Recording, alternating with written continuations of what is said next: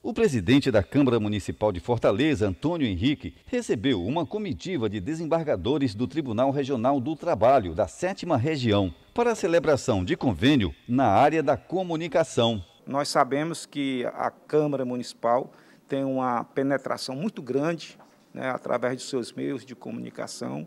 e eu soube da sensibilidade da atual gestão para fazer essa parceria. Trazer aqui uma sugestão, uma ideia de firmarmos aqui um convênio para usar os veículos de comunicação que a Câmara Municipal de Fortaleza tem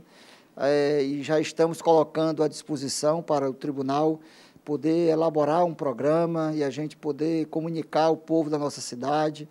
principalmente aqui da região metropolitana,